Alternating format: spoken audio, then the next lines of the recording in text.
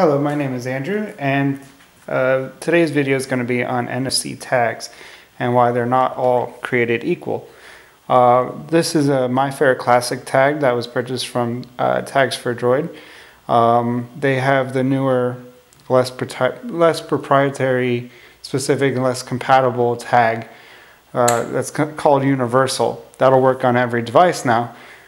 Uh, however, this tag is uh, is a only works with uh, older devices and older Samsung devices as well.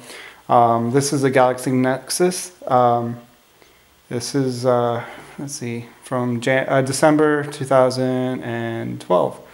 And uh, I'm in the process of creating an app called Taggin. And uh, with this app, I can write information to the tag. And I'll, I'll display the, a tag that I already wrote on it. So I'm able to write information and read information with the with my app uh, on a Mifare Classic card. However, here's the new Nexus 7 tablet. It does not have the same chip that's in the older devices, as well as the Nexus 10 and the Nexus 4 have the same chip that's in here.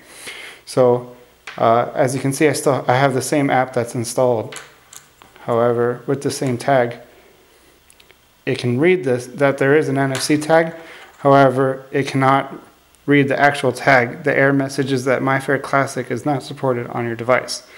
So if you're going to be buying a newer Nexus device or possibly a new phone, if you want to use these NFC tags, uh, word to the wise is to buy the universal ones because they'll work on any device.